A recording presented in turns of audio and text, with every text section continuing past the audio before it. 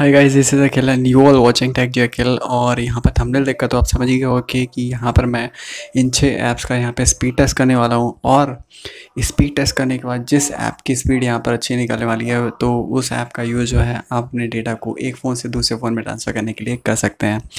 तो वीडियो काफ़ी इंटरेस्टिंग होने वाली है तो वीडियो को स्टार्ट से एंड तक ज़रूर देखना। तो चलिए दोस्तों वीडियो को शुरू करते हैं।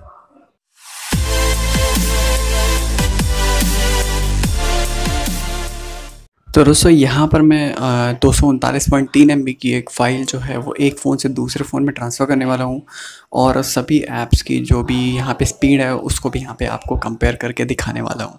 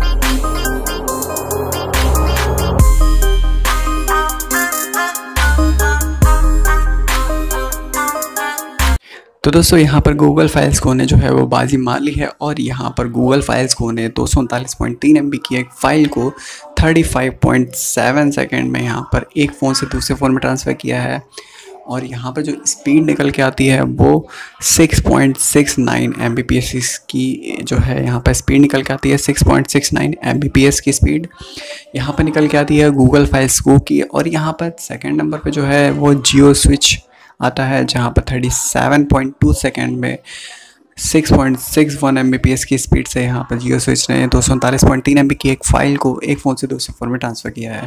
तो दोस्तों, यहाँ पर स्पीड की बात करें तो यहाँ पर गूगल फाइल्स को की सबसे पहले नंबर पे स्पीड आती है और अगर जियो स्विच का भी आप बात कर सकते हो तो यहाँ पर जियो स्विच भी है, वो गूगल फाइल्स को के आसपास में ही आता है।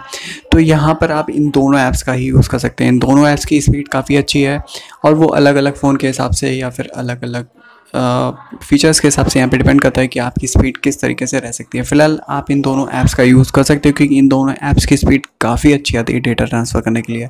और अगर आप कोई सिंपल ऐप यूज़ करना चाहते हैं तो आप यहाँ पे शेयर का शेयर मी का यूज़ कर सकते हैं ईजी शेयर का यूज़ कर सकते हैं अपसेंड का भी वहाँ पे यूज़ कर सकते हैं, क्योंकि अपसेंड काफ़ी अच्छा ऐप है। शेयर इट के अल्टरनेट में आप अपसेंड का भी यहाँ पे यूज़ कर सकते हैं, इसकी स्पीड भी काफ़ी अच्छी आती है। यहाँ पर पचास सेकेंड में यहाँ पर दो सौ उनतालीस पॉइंट तीन एम की फ़ाइल को यहाँ पर अपसेंड ने सेंड किया है और इसी से यहाँ पे इसकी स्पीड आती है four point seven two M की। तो काफ़ी अच्छा ऐप है और इसके बाद मैं आपको बताना चाहूँगा, जैसे मैंने शेयर में आपको बता दिया अप सेंड और यहाँ पर ईजी शेयर और यहाँ पे एक आता है शेयर ऑल तो ये सभी ऐप्स यहाँ पे यहाँ पे आप जो है यूज़ कर सकते हो। काफ़ी इजी है यूज़ करने में। सभी ऐप्स यहाँ पे काफ़ी इजी हैं यूज़ करने में। लेकिन स्पीड के मामले यहाँ पर फाइल्स को और जियो स्विच दोनों काफ़ी आगे रहते हैं।